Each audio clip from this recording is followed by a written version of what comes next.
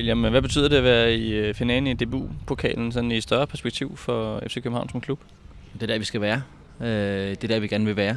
Og øh, med den trup, vi har i år, hvor vi kan spille Europa, så, øh, så er det jo øh, så det er et sted, hvor vi også kan, selvom vi måske til tider har lavet et par ændringer i pokalen, og der er måske en anden målmand, der normalt ville stå og så videre, der er nogle andre folk, der også spiller lidt mere, så er det også et sted, vi skal kunne slå os igennem. Og det er, det er dejligt, og det er vigtigt. at spille så også en kamp mod Brøndby, at, at, at, at vise, at det er der, vi er. Man kunne, der var enormt stor glæde i omklædningsrummet i går.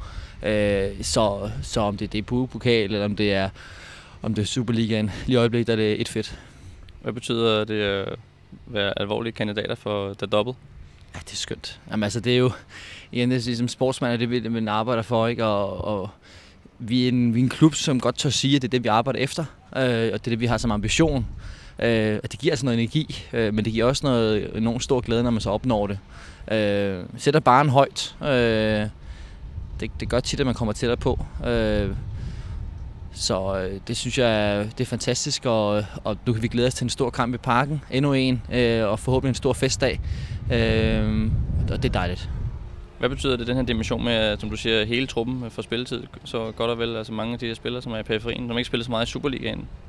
Jamen, det er sindssygt vigtigt. Nu har jeg prøvet det også i udlandet med, med forskellige trupper, som, altså, og jeg har selv prøvet ikke at spille så meget og holde motivation op og sådan ting der. Øh, så for hele, for os også på længere sigt, er det enormt vigtigt, at der er mange af de her spillere her, som måske næste sæson bliver endnu vigtigere for os, eller bliver rigtig vigtige for os. I, øh, så er det vigtigt, at de ikke bare tænker, oh, nu skal jeg bare væk herfra, fordi jeg får ingen spilletid overhovedet. Så det bringer noget glæde, det bringer nogle spilminutter, det bringer noget, og vores unge talenter også kan få lidt, øh, lidt mere, flere minutter i benene og nogle oplevelser osv. Så, ikke? så, så, så det, er, det er ret betydeligt vægt til det kan man også se. Jeg tror, at Ståle har måske her, når vi kommer i semifinalen i hvert fald, har vurderet, at de her tre kampe her, de to semifinaler den i finalen, kunne, kunne være en rigtig god tilføjelse til, til de kampe, vi i forvejen spiller.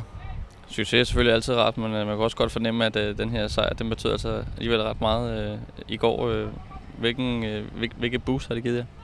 Ej, men det er klart, nu har vi haft sådan, øh, i forhold til kvalitet, har vi altid synes vi har været bedre end Brøndby, i hvert fald i sidste lang stykke tid. Og det var lidt irriterende, at vi måske på mange parametre har resultatsmæssigt har spillet sådan nogenlunde op med dem, eller de sådan tit er kommet ud lidt bedre, end vi egentlig har synes. Øh, og, og derfor var det vigtigt i går at vise fra start af, at vi har kæmpe chancer allerede fra start af, og sætter os egentlig på kampen det meste af, af, af, af tiden, ikke? også i parken, og synes jeg egentlig, at det er okay, og sådan ting, eller i hvert fald i Superliga-kampen så, så det er bare vigtigt. Øh, og så er vi mange københavner på holdet, og øh, vi kender godt til, at, at det, er, det er det vigtigste for os at vinde de her opgør her. Og nu udlændingen også kom med på den vogn. Der er i hvert fald et par svensker der, som også var rigtig glade. Øh, det var fedt, og så prøvede vi lidt nyt system også. Øh, det har nok første gang min FCK-tid faktisk. Jeg har spillet et andet system end, end 4-4-2. Øh, og det, det synes jeg var en, var en, var en spændende, spændende dimension, at, at, vi, at at gav, gav en eller anden form for nytænkning, at vi, vi ikke bare skulle kopiere, hvad vi gjorde i parken i søndags, fordi det kunne godt have været lidt svært med helt andre omgivelser og helt andet øh, setup, og at vi skulle score på en anden, altså så videre. Det er så lidt, lidt anden kamp på den måde, øh, så det synes jeg egentlig var, var lidt sjovt. Så det mangler vi kun øh, dig at se som, som sweeper bagefter, til, når du bliver endnu ældre, eller hvad? Jamen, du kan se, at altså, de laver jo ikke noget dernede. De løber jo nærmest ikke. Sanka, han løber jo ikke i sådan en kamp der, jo, så det kunne jeg sagtens finde på. Ingen problemer. Man synker længere og længere ned, jo længere jeg ender måske som målmand på et tidspunkt. Tak for det.